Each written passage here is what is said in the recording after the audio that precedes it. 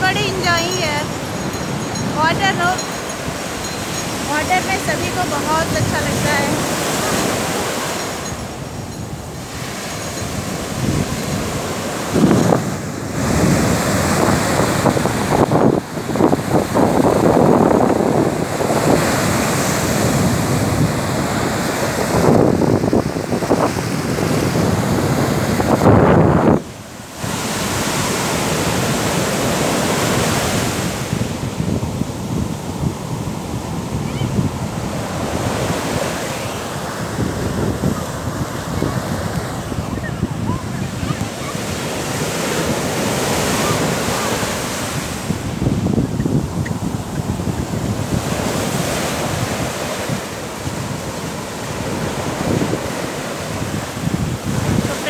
Marina बीच।